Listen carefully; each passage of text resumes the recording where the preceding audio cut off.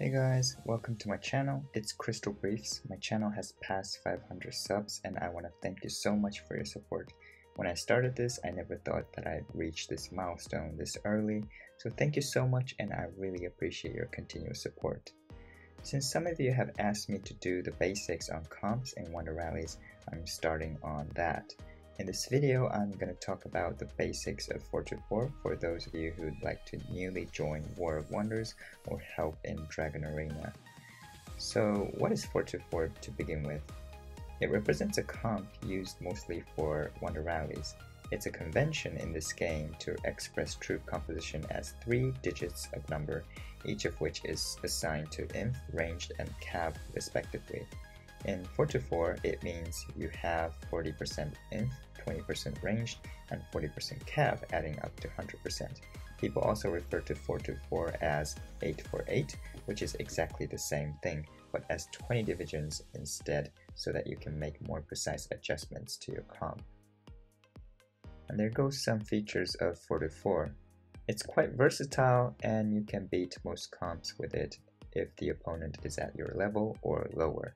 It's easy to win even if you don't have much understanding of the mechanisms of war as long as you're using it correctly. Apart from cav wedge, all formations work with 4-4. I've actually never seen a situation in which 4-4 cav wedge becomes the best formation to use. Maybe against Inf Blast, but that's an irregular situation. Cav wedge does work sometimes, but there is always a better formation than that. If you know about a situation in which 424 cav wedge becomes the best option, let me know in the comment. 424 also has a potential to be a lot stronger lead and that's why it's the most popular variant. So I'll go through everything you need to know before using 424 in Wonder Rallies. First is your talent. You should have all the army HP and attack maxed.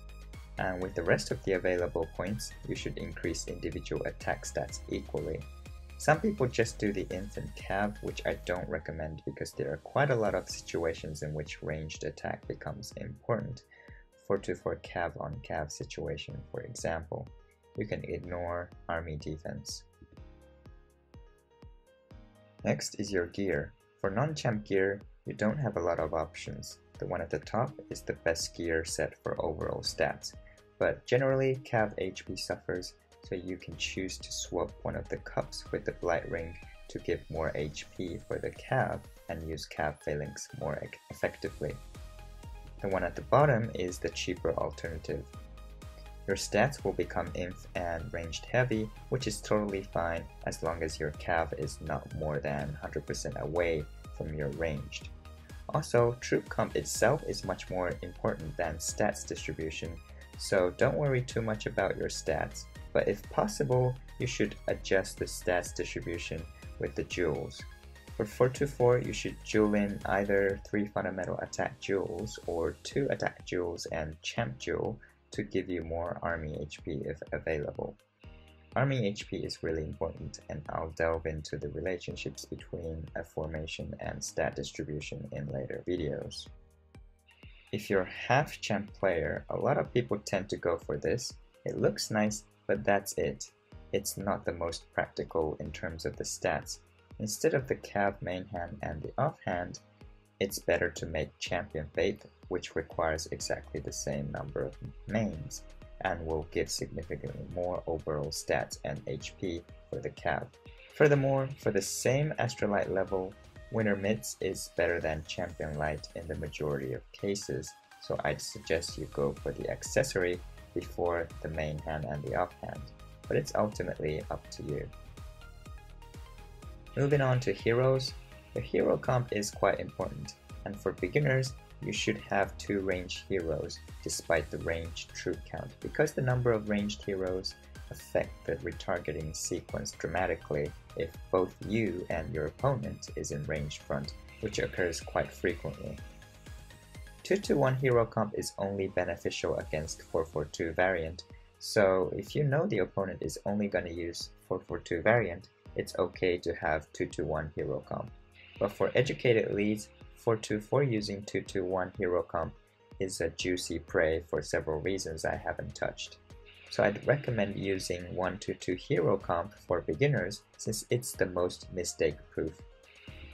212 Hero Comp is for those who are determined not to use ranged front which is actually possible, but against someone like me, I'll be able to make you use ranged front so 212 Hero Comp is still risky. With that in mind, my suggestions for hero lineup is this for pay to play. You could also use Stormfox instead of the Rose Knight, but where Cav receives damage, the Rose Knight tend to outperform Stormfox. If you have 11k heroes, obviously you can just swap that in for the same troop type. For free to play, this would be the best for you. Next is about familiars. For pay to play, since the Pact 5 familiar damage is proportional to your troop count, you should choose Inf and Cav Pact 5 familiars. Don't put ranged Pact 5 familiars unless you want to strategically transition your comp to a ranged heavy one. Shield and Griffin are quite useful, so any of these lineup are available for different purposes. Cav Shield is good when using Cav Phalanx and Inf Shield can enable Inf Phalanx to tolerate Cav increased 442 variant. Also, it's important that having Cav Shield don't actually limit your choice of formation. Sometimes choosing the right formation is much more important than getting the shield to activate. Helldrider, the new familiar, will join in if you can direct the skill towards the counter of your front. The use of Helldrider will be discussed more in future videos. For free to play, Tempestite and Griffin would definitely be in. Also, the stackers for Inf and Cav especially may be useful, and the new familiar talent can be used if you have full slots available. If you have shield familiars by any chance, then they'll definitely be in. Next up is formations. Here are the extremely basic choices of formation against some characteristic comps. You can start from there.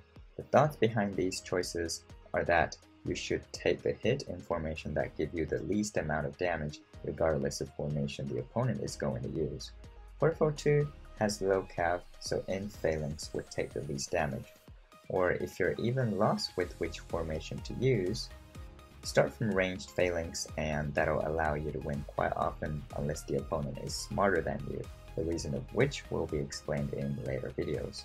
In fact, a lot of leads have started from there, and some leads have learned to diversify choices of formation, while others stick to ranged phalanx predominantly, yet wins quite often still. These are more detailed table for which formation to choose for each example situation that you can study in your own time. Moreover, there are fundamental mechanisms you should be aware of in mixed versus mixed situations. Provided that both sides have equal stats for all troop types and are 1-1-1 comp, Inf Phalanx beats Cav Val, Cav Val beats Ranged Val, and Ranged Val beats Inf Val mechanistically.